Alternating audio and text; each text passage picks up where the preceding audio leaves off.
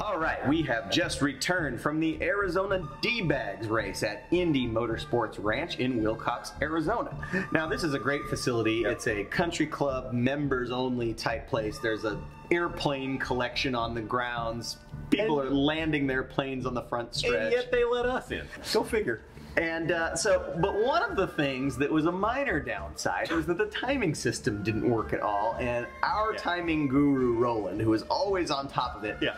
uh, you know, first it was, well, maybe it's the lake effect or the extra static electricity or the new decoder or, you know, the, the old decoder that they sent. It has the wrong codec from the factory in it.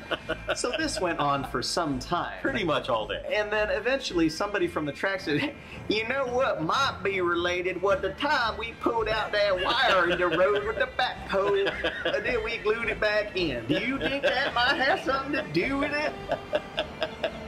So Roland and Jeff showed up early on Saturday morning and installed our backup loop because we're no dummies. Yeah. We travel with an entire system for just this occasion and we taped it into the ground and got it all running and working for the rest of the race. All right, there were, however, some hella sweet things at this race. And for starters, you know, usually Camaro, we don't really, we don't like to encourage Camaros, but no, this Camaro is actually pretty excellent. It's a second generation. Yeah. It's super fast. Yeah. They won the race. I mean, Yeah. I Camaros have won once or twice before, but Yeah. you know, really, these are pretty terrible cars. Yeah. So they dominated. They deserved it. Six laps. Totally awesome. Also, hella sweet. These dudes, I don't even know what this is about. Brought this giant S-Class Mercedes. Oh, yeah. What was that thing? It's like a W140 or It's something? a it's an S500. I think it might have gotten an award for something before, but anyway, it's awesome. It's a huge S500 coupe, and Yeah. it is racing in lemons. Yep, yep, yep. Also, hella sweet. Spank did the Jeff Glenn Memorial meeting. Yeah. So turns out our uh, American Cities Racing League champion from 1997, Yeah. Jeff Glenn, he had a mini that uh, he had done in a certain way. I don't know where Spank found these photographs that said, ah, "That's it. I'm going to make a historic Jeff Glenn replica." Yeah Brought the car out. It ran great, and then he had Jeff uh, sign his boobs commemoratively. You know, now that I think about it, the same year that Jeff Glenn won the American Cities Racing League Championship, it 1997. was the same year that Busta Rhymes was rapping about how he had an S500. It's Kismet. Smoke a big, get myself over, fall on the floor, and I gotta call my S500 Iceberg 5 where you at? We had a really cool act like you're on a car reality TV show penalty. I Yeah. really liked that. And we had a great squatty potty theme. I mean, that's way overdue. It is Arizona. There you go. There we go. Oh yeah, coming up that nice Oh. steady stream. Nice steady stream right there. Oh. All right. Who would like some uh, ice cream? There you go. I'm gonna pass. Speaking of car reality TV Oh, yeah. shows, uh, the folks from Counting Cars on the History Channel were there. Um, that, in and of itself, is a spin off, I believe, of Pawn Stars. Uh, and it had all the indicators of a really Yeah. bad reality TV experience of producers who don't know what they're doing, idiot drivers, bad Yeah. car, so on and so forth.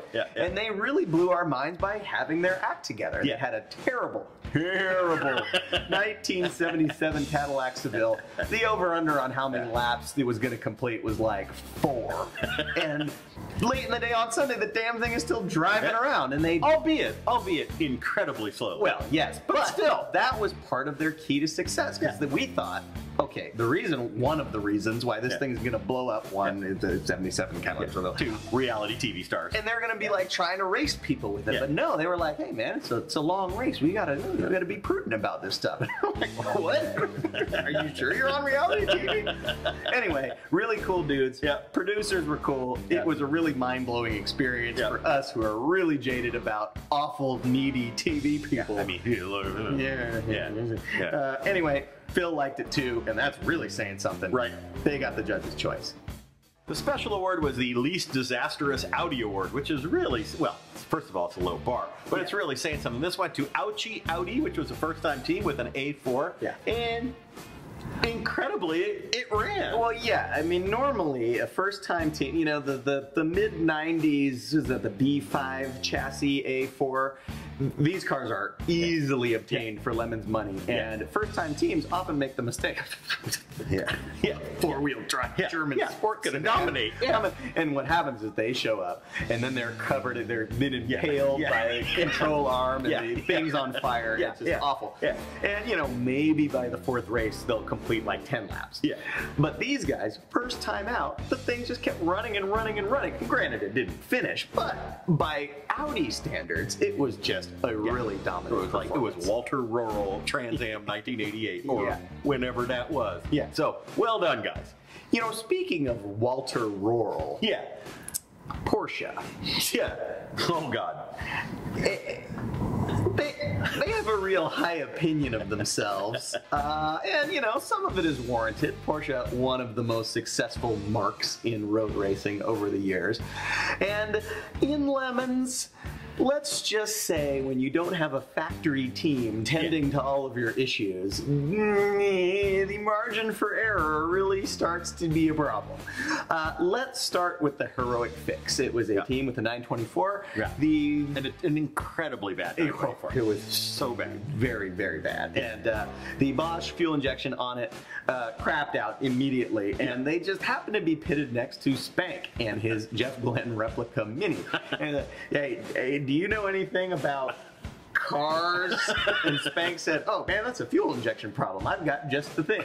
Digs in his bin of parts, comes out with an SU carburetor.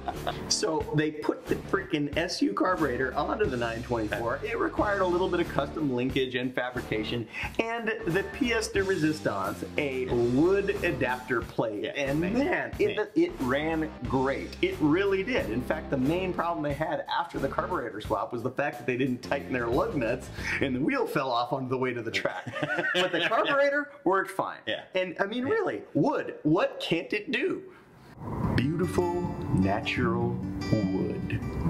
Used in construction for homes, carburetor adapters, and gorgeous redwood furniture. Wood. What can't it do?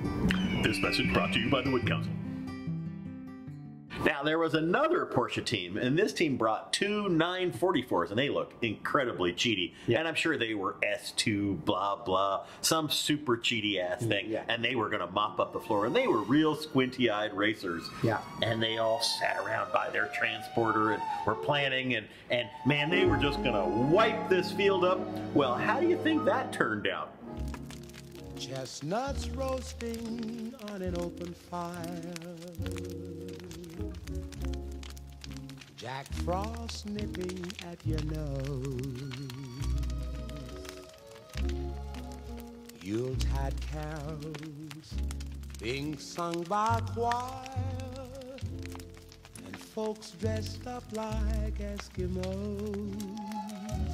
So anyway, I mean, I just don't get it. I mean, look, they make great cars, right? I actually I own a Porsche uh, because I had money left at the end of the month Yeah. in my checking account and fixed that. So, but you know, I like it, and they're great cars, and I don't understand why they are so incredibly terrible at lemons. I mean, really, where's the excellence? So much no excellence. You know, that's what I was expecting. and that brings us to organizer's choice, which went to Le Citron and their Pontiac Le Mans. Not a whole lot to Yeah. say. It's a big, huge yellow 77 Pontiac. What's not to like? Yep, yep, yep. And the index of Effluency, the top award, went to these guys. They brought a Volvo PV544. Yeah. So much special about that. But Yeah. what's particularly special, Anton, our former multi-year Yes. champion, he's been building a PV544 Yeah. for like years. It's like, this is going to be the first one in Lemons. It's going to be so awesome. I'm going to win Class C, B, and A. I'm going to win IOE. I'm going to dominate with my PV544, and I'm going to be the first one to do it. Yeah! and then these guys, they beat him by one race. They show up with a Volvo by one race. They had been driving by this car. It was in a junkyard for 20 years. They've been driving by it for like a decade. Finally said, oh, uh, Lemons race coming up in about three weeks. Pull in. Hey, man, can I buy that Volvo from you? Hell yeah, give me five bucks. It's yours. They take it. They take it to the race. They drive. I think they blew up a gearbox. They did. You know, they got the thing back out. They basically dominated the race. So, sorry, Anton, you didn't win the IOE for bringing the first PV544. That's it. Here's lemons in a nutshell. So the BMW fairy gifted me all of these wonderful parts. So we shouldn't be docked anything because the BMW fairy is the one who gifted it to us.